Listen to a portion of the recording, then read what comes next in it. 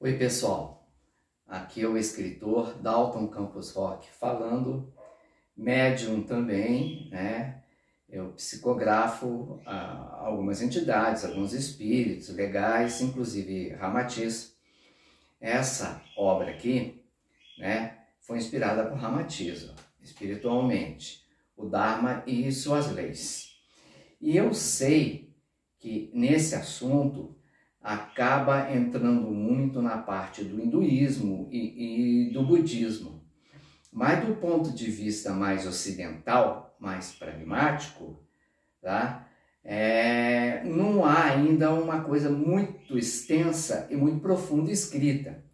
Eu sei que grandes nomes do budismo e grandes nomes do espiritualismo brasileiro já escreveram obras semelhantes, falando sobre Dharma, tá? E falando sobre propósito, propósito de vida, missão de vida, propósito existencial, tá? Eu, eu, os nomes dos autores budistas eu não me lembro, mas é, é, é fácil a gente descobrir.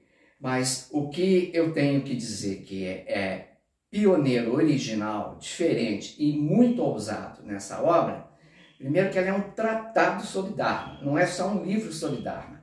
Ela tem 630 páginas, tá? Com letras tamanho 12, sem encher linguiça, sem páginas em branco no meio. Então são 630 páginas todas cheias, todas aproveitadas, sem aqueles versos brancos, né? E ela é rica em gráfico, imagem, tabela, esquema, ilustração. Eu fiz uma playlist no meu canal no YouTube, o canal Dalton Rock, específico para as imagens desta obra, explicando. É um material profundo. Isso aqui é o que eu posso chamar de uma obra que é densa tecnicamente, do ponto de vista do conhecimento espiritualista do enfoque da, pro, da, da, da, profundidade.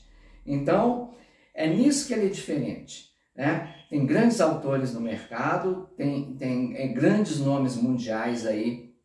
Não é um assunto novo falar sobre karma, sobre dharma, mas eu desafio a alguém dizer que é, essa não é a obra mais completa do mundo sobre dharma, pelo menos nesse momento.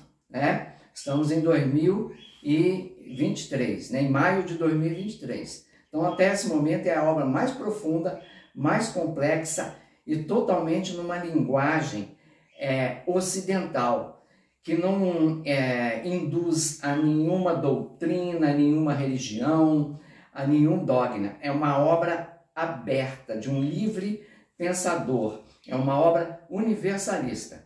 E é isso que eu queria dizer sobre essa obra hoje. Muito obrigado.